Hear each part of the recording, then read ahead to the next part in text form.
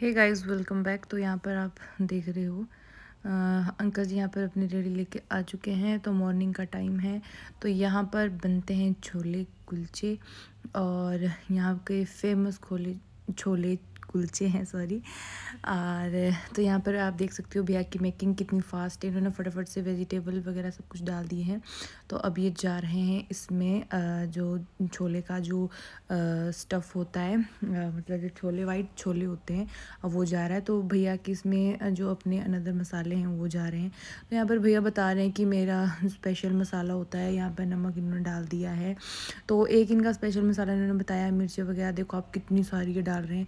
तो ये वाला इनका स्पेशल मसाला था तो ये इनका नाम नहीं बता रहे थे क्योंकि इसकी मेकिंग ये खुद ही अपने घर पे करते हैं। तो यहाँ देखो आप, यहाँ पे चटनी जा रही है जो उसको थोड़ा सा चटपटा बना दे।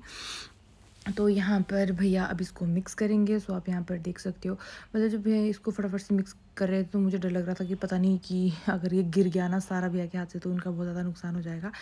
और यहाँ पर नींबू यहाँ पर डाला गया और ज़्यादा चटपटा बनाने के लिए। तो यहाँ पर देख सकते हो भैया के हाथ की फुर्ती थी कितनी ज़्यादा है। और मतलब इसको मुझे ऐसा लग रहा था क्योंकि जगह भी डब्बे रखने की इतनी ज़्यादा नहीं थी। तो यहाँ पर भैया बता रहे थे कि किस तरह से क्या किया जाता है, इसको मिक्स किया जाता है। जो जितने भी सारे मैंने इसमें मटेरियल डाला है वो बिल्कुल पैक हो जाता है। तो यहाँ पर भैया का जो छोले का है पूरा जो भी है सिस्टम वो तैयार हो चुका था। तो यहाँ पर भैया देखो आप किस तरह से वो एक प्लेट लगा रहे हैं और इतनी फुर्ती से वो कर रहे थे काम। तो मुझे तो लग रहा था कि पता नहीं यार खाने में कैसा होगा पर अजीब सा होगा जिस तरह से भैया कर रहे थे, एकदम चिपचिपा जैसा इसका बन रहा था। तो मेरा थोड़ा सा ऐसा हो गया था कि नहीं, पता नहीं कि क्या बनेगा। पर जो सबसे बेस्ट मोमेंट है ये वाला भैया का, जो मतलब उछाल उछाल के इसमें बहुत सारे वेजिटेबल ये डाल रहे थे टोमेटो अभी देखो आप यहाँ पर बहुत सारे टोमेटो टोमेटो का आप देख सकते हो तो कितने सारे इन्होंने टोमेटो डाले हैं। और ऊपर से भर भर के डालेंगे प्याज और कैप्सिकम बहुत सारा। और ये देखो, ऊपर से डालेंगे ये इसमें नींबू, मिर्च, जो भी इनके पास सैलेड में है, सब कुछ ये डालेंगे। उस, यहाँ पर देखो। मतलब फिर जो इन्होंने प्लेट लगाई थी, फिर दूसरी प्लेट यहाँ पे लगने जा रही थी। और यहाँ पर आप डब्बा देख सकते हो कि बिल्कुल फुल था और बिल्कुल ही ख़त्म हो गया है। मतलब इन्होंने जैसे जैसे हमें बताया कि पंद्रह बीस मिनट के अंदर ये सारा मतलब मतलब प्लेट ख़त्म हो जाती है और सारा सब कुछ ख़त्म हो जाता है। तो यहाँ पर आप देख सकते हो भैया, फटाफट से यहाँ पर प्लेट लगा रहे थे। तो मतलब देखने में भी बड़ा मज़ा आ रहा था मतलब हँसी मज़ाक बहुत चल रही थी भैया के साथ।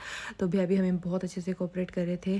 तो यहाँ पर आप देख सकते हो कि भर भर के भैया ने फिर से इसमें टमाटो डाल दिए हैं सैलेड के तौर पर और इनका जैसे भी आप इसको बनाना चाहते हो स्पेशल तो आप बना सकते हो। तो यहाँ पर देखो, यहाँ पर कुलचे भी ऑलरेडी बना के रखते हैं, बस इसको थोड़ा सा वो गर्म कर देते हैं और फटाक से इसको सर्व कर सकते हैं। जो जो कि जल्दी जल्दी सर्व कर सकते हैं, क्योंकि भैया सारा खुद खुद ही हैंडल करते हैं चीज़ें। तो छोले कुलचे आप यहाँ पर ट्राई कर सकते हो।